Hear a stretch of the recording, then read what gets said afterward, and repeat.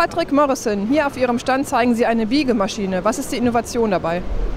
Ja, das ist die neueste FRX04. Das ist eine Erweiterung unserer Reihe von sequentiellen Biegemaschinen, die besonders für die kleinen Drähte geeignet ist. 0,8 bis 3 mm. Hat sehr viel Interesse im äh, Fädenbereich. Die Maschine wird angetrieben mit Servomotoren. Was können Sie dazu erklären?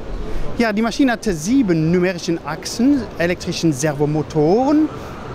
Und alle diese Motoren sind interpoliert. Das bedeutet, dass äh, die bewegen zusammen. In, durch sehr einfache Werkzeuge äh, kann man sehr komplexe Biegeformen, Fäden ersetzen, gering Werkzeugaufwand. Und wie bewerten Sie hier das Zuschauerinteresse hier auf der Wire an Ihrer neuen Maschine? Wir haben sehr viel Interesse von den Federherstellern. Ein von denen hat uns gesagt, das ist die erste gute äh, Neuigkeit, äh, äh, wesentliche Neuigkeit, die ich äh, an diesem Düsseldorfer Messe gesehen habe. So, wir sind sehr äh, aufgeregt. Eine Biegemaschine mit sehr feinen Drähten gibt es hier zu sehen bei Herrn Morrison. Vielen Dank fürs Interview. Danke sehr.